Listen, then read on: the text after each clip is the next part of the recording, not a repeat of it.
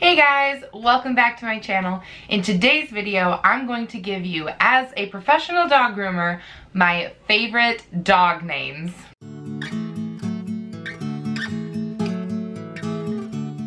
Alright, if you're new here, my name is Claire and this channel is all about mom stuff, lady stuff, and life stuff. So if you're into any of that, definitely consider hitting that subscribe button down below.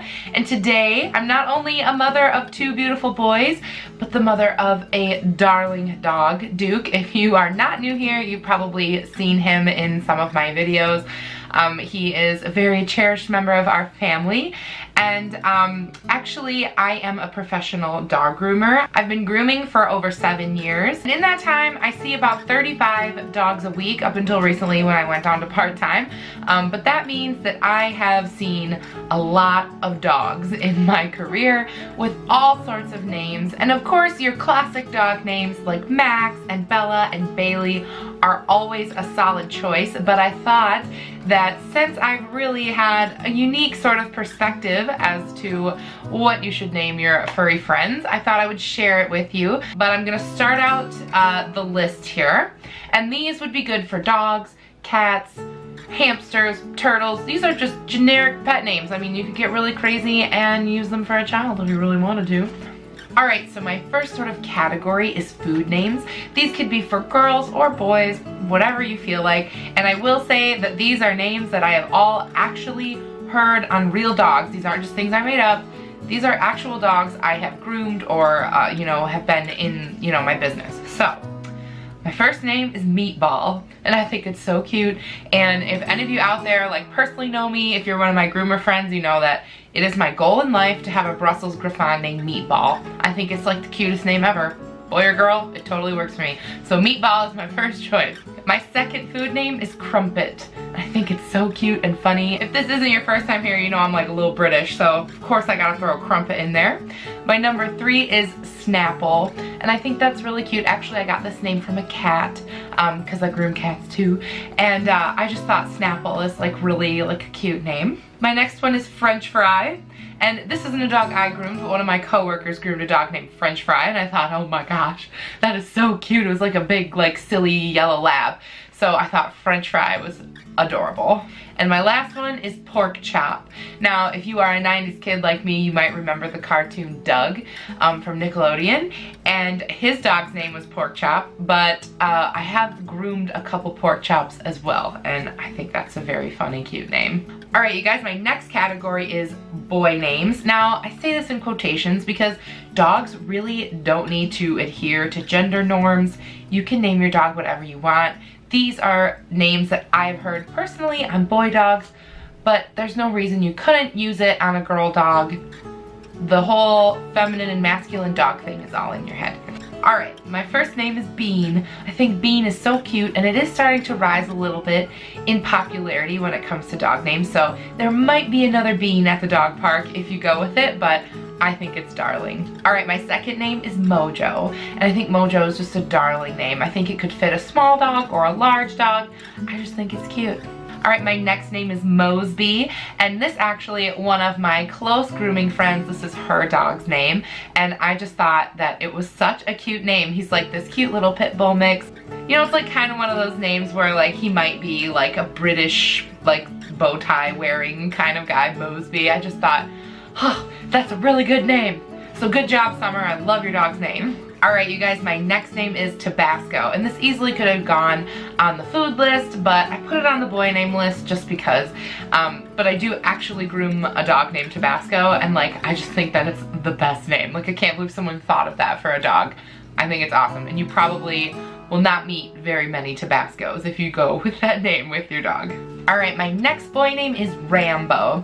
And actually, this one is pretty personal because I groomed a dog named Rambo for many years. He's passed away now, but I really, really loved him and he was like, like a poodle mix.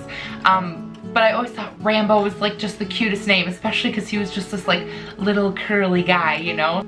All right, the last name on my list is Da Vinci.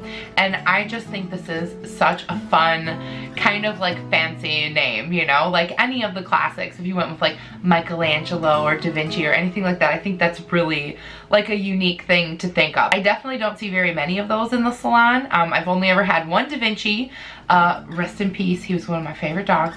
Um, but I always loved his name and like I always have that in the back of my head that maybe one day I'll have a dog named Da Vinci. All right, now I'm gonna give you some girl names. And a lot of these are like kind of flower related. I don't know why I really like love a good flower name. Actually, I have a couple baby name videos like boy names and girl names and I'll link those videos down below because flowers make an appearance in my people names too. So the first one I have is Petal and I think that's so cute. I can just imagine like even like a huge like 100 pound mastiff named Petal or like a little tiny Yorkie named Petal. I think that that um, would just be cute on any breed. My next one is Ladybug, and I think that's also like really cutesy if like you're into like the cutesy sort of names. I think Ladybug is really cute too. My next one is Poppy, and this actually one of the other groomers I work with has a dog named Poppy, and she's this like sassy little chihuahua, and I just think it's darling, and I've always loved that she has a dog named Poppy.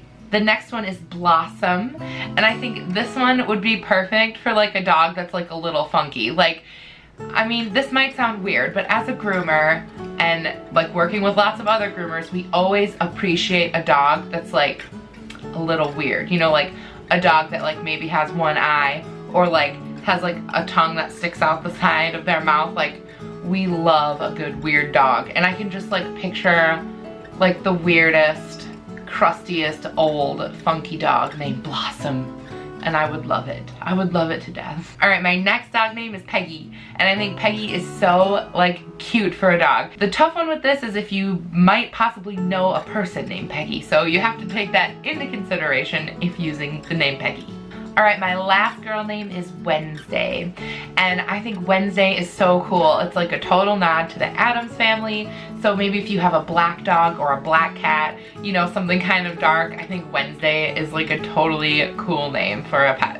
Next, this isn't really a category, more like just a really good idea for you. Um, I've seen it done a lot um, in the salon and over my career, and that is taking the breed of dog you have and using its origin uh, to pick a name. So the best example I have of this, we have two German Shepherds that come in. They're like these huge, massive, beautiful German Shepherds, and their names are Greta and Helga, and I think that that is amazing. Like, their owners just picked these like strong classic German names for their German Shepherds, and I just think it's so cute. Another example of this is if you have like a Shiba Inu. We actually have some that come in that are named Sushi and Wasabi, and I think that that is so cute. So if you have a dog that's like mostly one thing, I mean obviously my dog is like a huge mutt so it wouldn't work for me, but if you have a dog that's like a specific breed, um, do a little research, find out like where their like nation of origin is and maybe pick a name that's related to that because definitely as groomers we totally appreciate it when someone comes in with like a good solid like culturally appropriate name for their dog. And lastly, I'm gonna give you a list of names that are the craziest, weirdest, off the wall names I have ever heard in my salon. These are 100% real. These are real dogs that I have groomed and I just thought like you should just know that there are dogs out there with these names that exist. The first one I'm gonna tell you is Dream Puff. There is a real Pomeranian named Dream Puff and I think that is amazing. Like honestly, I can't even lie, as a groomer, the weirder your dog's name is, the more I'm kind of obsessed with it. Like, we love a good weird name.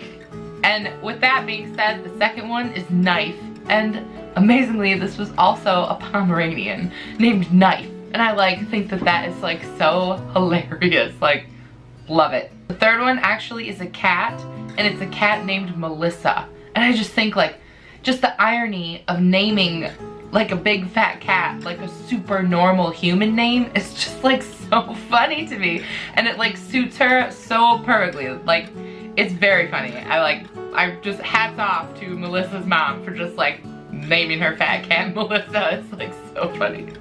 All right, my next name is Q-Tip. And Q-Tip is actually a darling little Pekingese and like, you know, she's got like a big fluffy white head and like you know, obviously a Q-tip, but it's very funny that someone actually went through with naming their dog Q-tip.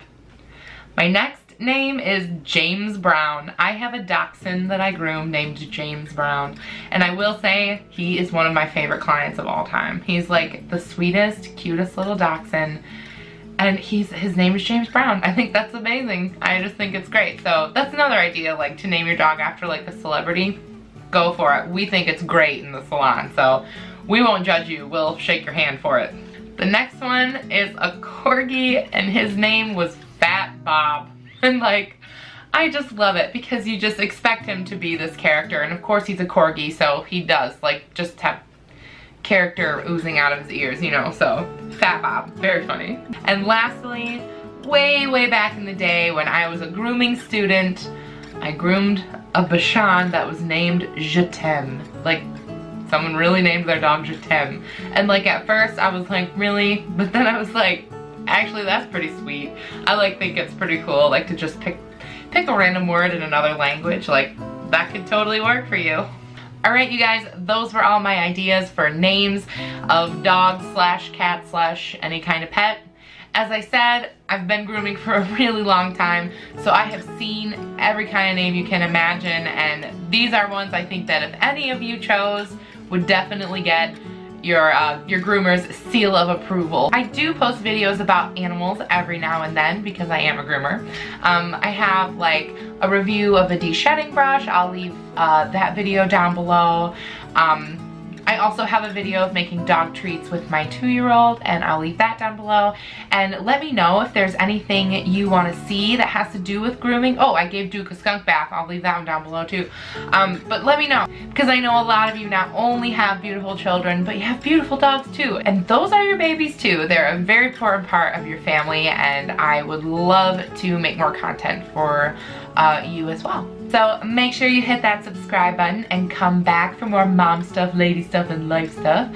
I do post new videos every Wednesday, Friday, and Sunday, and I would love to have you. And I'll see you guys in my next one. Bye!